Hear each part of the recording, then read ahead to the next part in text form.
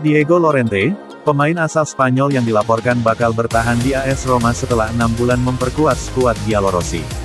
Melansir Sky Sport Italia, negosiasi AS Roma dengan klub Liga Inggris, Leeds United berjalan mulus. Jose Mourinho yang menginginkan Diego Lorente tetap tersedia untuk musim 2023 per 2024 akan segera terwujud. Dilaporkan, raksasa Elan Roth sepakat untuk meminjamkan ex Real Sociedad ke AS Roma. Ia, bek jebolan La Masia akan memperpanjang masa tinggalnya di Liga Italia. Diego Lorente menjadi salah satu pemain yang ingin dipertahankan The Special One. Didatangkan pada akhir Januari lalu, Diego Lorente telah mengemas 12 laga bersama Giallorossi.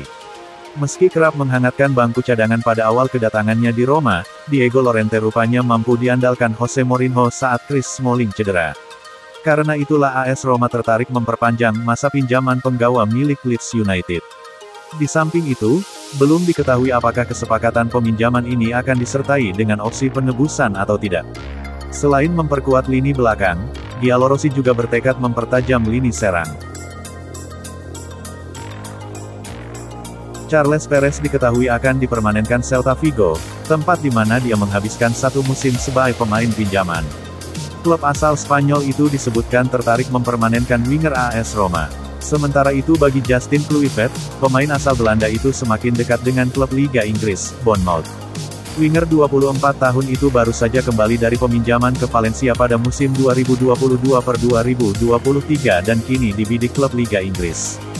Dilaporkan, Bournemouth yang nyaris mendapatkan tanda tangan Nicolo Zaniolo pada bursa transfer musim dingin lalu akan membayar 10 juta euro untuk transfer Justin Kluivert. Pemain baru AS Roma Evan Dika sudah bocorkan nomor punggung yang dipilihnya. Evan Dika mantan pemain Eintracht Frankfurt ini memilih nomor punggung 5 yang pernah dipakai legenda AS Roma Felipe Mexes. Ia dengan bangga berfoto dengan jersey AS Roma bersama Presiden FIF, Federasi Sepak Bola Pantai Gading, bersama Jonathan Bamba. Peluang AS Roma untuk mendapatkan Nicolo Zaniolo.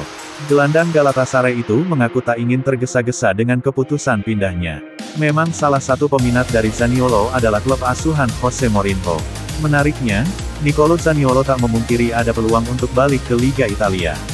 Terlebih tiga tim besar seperti Fiorentina, AC Milan dan AS Roma juga meminati.